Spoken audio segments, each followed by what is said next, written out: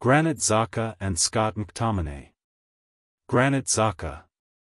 2011 present, tournaments and captaincy before making his international debut for Switzerland, Xhaka was still undecided whether to play for his birth country or Albania, and he complained to the Albanian sports media that FSHF was ignoring him while the Swiss Football Association was showing much more interest. 61.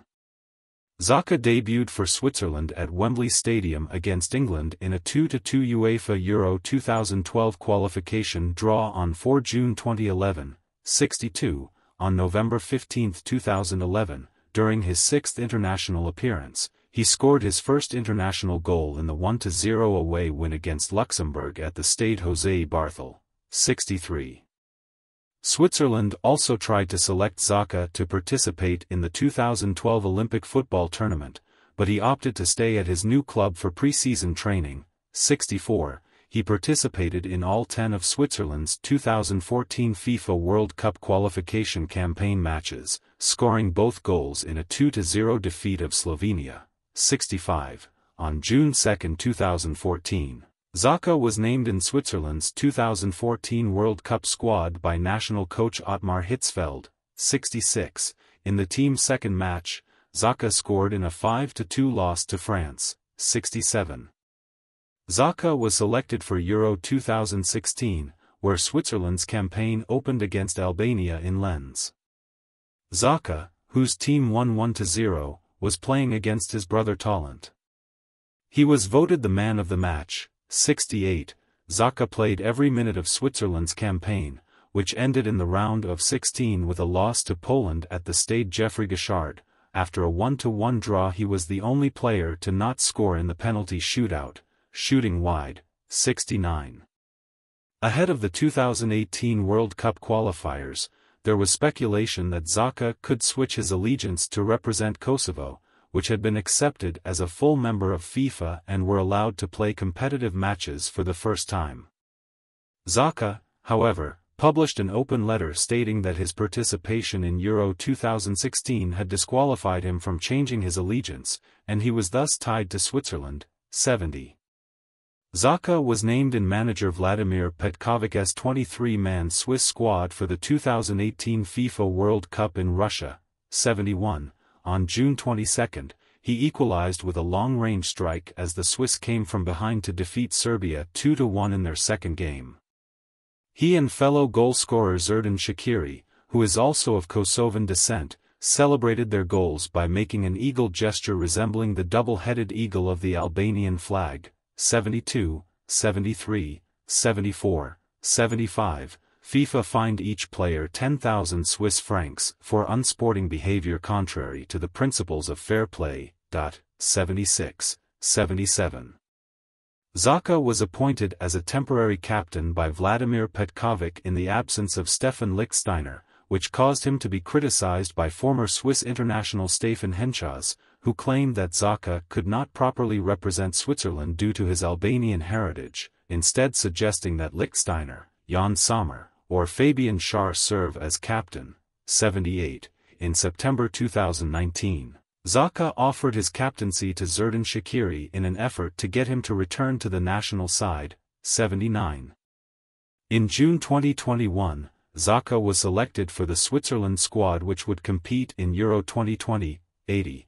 In November 2022, Xhaka was selected for the 26-man Switzerland squad for the 2022 FIFA World Cup in Qatar, 81.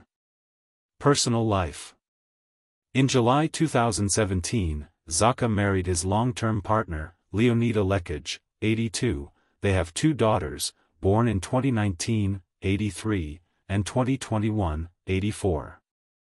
Scott McTominay. Manchester United.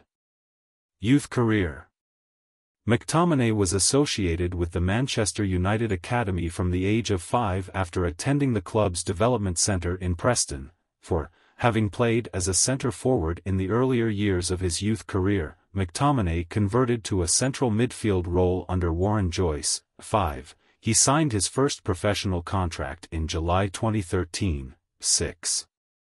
He made seven appearances for the under-18s between 2013 and 2015, but struggled due to his small size, 7. McTominay missed most of the 2014-15 season due to injuries relating to growth and development issues, growing 14 inches within two years. 8. McTominay struggled again during the 2015-16 season, making 11 appearances across the under-19s and under-21s, but commanded a place in the team the following season with three goals in 21 games prior to his senior call-up. 7. 2016-17 season. On April 30, 2017, McTominay was named on the substitutes bench for a match against Swansea City in the Premier League. He made his first Premier League appearance on May 7, coming on as a substitute against Arsenal, 9, before starting Manchester United's final Premier League match of the season on May 21, a 2-0 win at home to Crystal Palace, 10, international career. Eligibility McTominay was born in England but qualifies for Scotland through his father, who is from Helensburgh, 40. McTominay attended training camps with the Scottish youth sides. In November 2017, McTominay told Scottish Football Association performance director Malky Mackay that he wanted to concentrate on securing a place in the Manchester United first team, 41. Speaking in February 2018, club manager Jose Mourinho suggested that new Scotland manager Alex McLeish should select McTominay because it looks like England is missing him. 42. McTominay pledged his future to Scotland and was selected in their squad for two friendlies in March, 43, 44. Later that month, McTominay's grandfather revealed Sir Alex Ferguson wanted him to represent Scotland. Manchester United Academy coach Brian McClair explained, McLeish made a huge effort getting to Carrington to meet up with him, because it was in the middle of the bad weather that we had. He made it, put a case. Gareth Southgate sent him a text. 45, McTominay said of the conversation with McLeish, he travelled a hell of a long way to come and speak with me and I have to thank him for that. The conversation we had was relatively simple. I wanted to play for Scotland and I always have done since I was a young boy and it was an incredibly proud moment for me when he did call me up and hopefully I can kick on and do well. 46.